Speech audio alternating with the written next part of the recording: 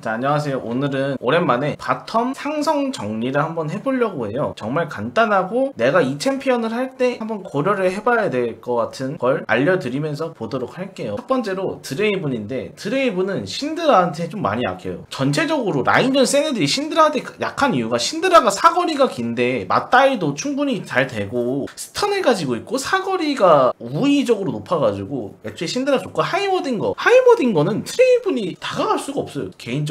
그 다음 카시오페아는 드레이븐이 앞으로 다가가면 궁을 쓰든지 도끼 받는 자리에다가 W. 애쉬 같은 경우는 드레이븐이 왜 싫어하냐? 물론 드레이븐이 힘든 것보다는 애쉬가 느려짐을 이용하든 CC기를 걸어서 드레이븐이 좀 껄끄러워하는 챔프 중에 하나니까 알고 계시면 좋을 것 같습니다. 그 다음에 루시안 같은 경우는 신드라, 케이틀린, 카시오페아, 애쉬, 칼리스타 이렇게 적어놨어요. 신드라는 왜 루시안 상대로 루시안의 사거리가 되게 짧거든요. 근데 신드라는 사거리가 너무 길어. 케틀이랑 비슷하게 훨씬 길어서 그냥 스킬 자체가 QE 하면서 stun 넣는 게 되게 귀찮아서 루시안이 거의 앞으로 다가가지 못하죠. 그 다음에 케이틀린은 루시안이 사거리가 500밖에 안 돼서 케이틀린 650이라 힘들고 카시오페아도 똑같이 다가가면 카시오페아가 궁 쓰면서 역관광 시키기 쉽고 애쉬도 다가가기 어렵고 칼리스타 같은 경우는 칼리스타가 좀 더 세건 것 같아가지고 제가 칼리스타 넣어놨습니다. 미스포츈은 신드라, 바루스, 카시오페아, 진, 루시안 이렇게 넣어놨어요. 좀 공통점으로 들어가는 게 뭐예요? 신드라가 정통적인 센 친구들 상대로 카운터 다. 카시오페아랑. 바루스 같은 경우는 미스포춘이랑 맞다이 할 때 전혀 딸리지가 않아가지고 바루스 넣어놨고 또 CC기 꼽기 좋아요. 미스포춘이 생각보다 CC기 약해가지고. 진 같은 경우도 맞다이보다는 좀 진이 좀 더 할 게 많다 해야 되나? 뭔가 W 쓰면서 속박 우리 팀이랑 같이 연계하기도 좋고 멀리서 궁 펼쳐가지고 느려지게 하면서 kill 따기도 좋고 미스포춘이 디견을 걸어도 뭔가 사타 치고 빼면 미스포춘이 못 쫓아온 느낌? 루시안도 맞다이가 안 딸려가지고 넣어놨어요. 여기서 그럼 드레이븐은 왜 안 넣어놨냐? 드븐 칼리를 여기다 넣어놔도 되지만 좀 비주류 pick이기도 해서 제가 안 넣어놨는데 드븐 칼리도 한번 고려해봐도 좋을 것 같아요. 바루스. 바루스 자체가 카운터가 거의 없어요 진짜로. 원딜 챔피언은 거의 카운터가 없습니다. 그래서 비원딜 쪽 카시오페아 신드라 야스오 딩거 이런 게 있겠죠 대충? 그 다음 베인. 베인은 생각보다 카운터가 많은 게 베인이 라인전이 세지 않아요. 드레이븐 맞다이 너무 딸려. 케이틀린 사거리 너무 길어. 바루스 너무 세. 아펠 너무 세. 애쉬 느려져서 힘들어. 자야는 그래도 괜찮긴 한데 왜 넣어놨냐면 자야한테 한 번에 속박 걸려서 죽는 베인들이 되게 많더라고요. 관전 강의하다 보면. 그래서 자야 넣어놨고 미스포춘 너무 세 칼리도 너무 세 그 다음에 시비르 카운터가 하나가 아니라 진 빼고 다 힘들어요.